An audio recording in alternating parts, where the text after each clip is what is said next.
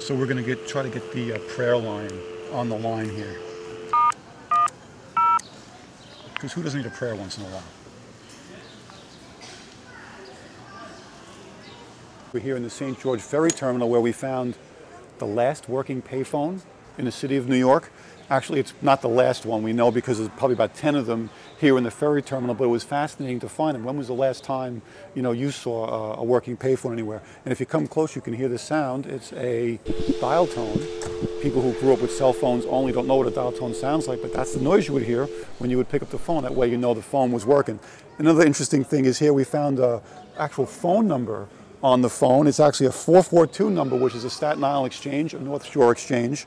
Um, you know, fellas, you remember sometimes you'd ask a girl for a phone number, she'd give you the phone number, you'd call up, it would be a pay phone or a non-working number. Well, you can still do that these days. Of course, now, phone, you know, the call cost you 50 cents. It used to cost you a dime, and I think it used to cost maybe 25 cents. And if you were on the phone a long time with somebody, you had to keep feeding money into the uh, phone. But the real fascinating thing we found about these phones that are in the, in the uh, St. George Ferry Terminal was you get a bunch of free calls. You know, uh, you can call the, uh, if you need help finding a job, you can call the Social Security office, you can call a couple of banks. I guess they must uh, do business with the uh, telecom company, and that's why you can call them for free. But the real fascinating one was dial star one zero and you can get a prayer said for you. You call the places in uh, Dallas, Texas, it's the Daystar Ministry, and you can call and you can actually talk to them. Of course, first they ask if you want to make a pledge. Listen, they got to do business too. But you know, they can call, they ask you for your name, and they ask you for uh, your zip code, they ask you what kind of prayer you need. So I thought that was a great thing. You're in, maybe you're feeling not so great, maybe the weather is bad, you come into the ferry terminal, you can get something uplifting. So we're going to get try to get the uh, prayer line on the line here. Because who doesn't need a prayer once in a while? It's ringing. It's ringing. You know, sometimes it's a machine that answers. Thank you for calling the Ministry. How may I help you?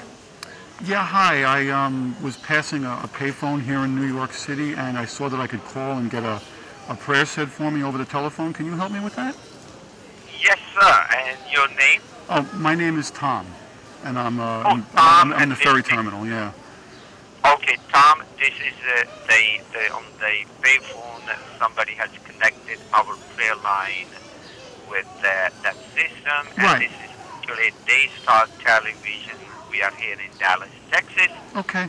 and we will be. Uh, I will be more than happy to pray with you.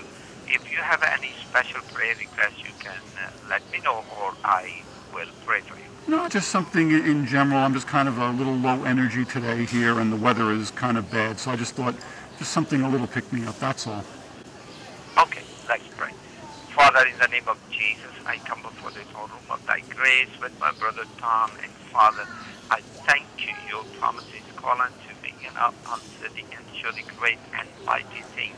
And Father, as you have promised, uh, Lord, we pray that you bless Tom in every area of his life. Protect him, Father. Lead him and guide him in the way you want him to go. In Jesus' name. Amen. Anyway, fascinating. Working payphones in the city of New York. They still exist. This is Tom Wrobleski, the senior opinion writer for the Staten Island Advance.